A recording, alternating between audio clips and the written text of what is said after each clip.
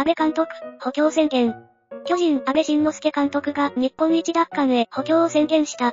CS ファイナル敗退から一夜明けた22日、都内で山口オーナーにシーズン報告を行った。最終戦までもつれたポストシーズンを終え、短期決戦の難しさとか、チームの課題は明確に出ました。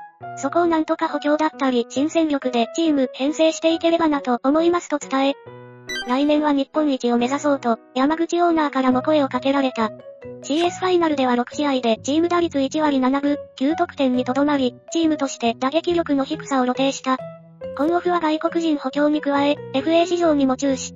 すでにソフトバンク、海拓也保守や阪神、大山祐介内野手らの獲得調査を進めている。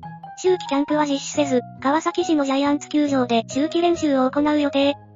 若手の底上げももちろん、打てなかったからね。何とか打撃陣を。そういう話ですよねと、間髪入れづらい気に向けて動き出す。FA はもういいって、自前で育てないと、また暗黒時代まっしぐらやで。打てなくしたのはあなたですけどねぎまりもしない、バントに練習時間割いて。読売はソフバンみたいに FA 補強が多い球団じゃなくなったと思ったのに。大山って阪神から巨人に来る度胸ある100%ないよ。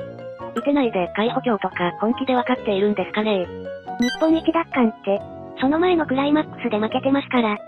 何でもいいから取っていいとしても欲しい FA 選手ってあんまりいませんね。大城は構想外になるかもね。打撃だって岸田小林と大して変わらないし。ディフェンス良かったから、買いはいらないだろ。扇の用は問題ない。買いなら佐野だよ。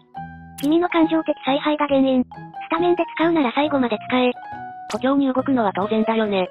ソフトバンクに勝つには。大城と会話友達だから、お互いどうするか話してるだろうな。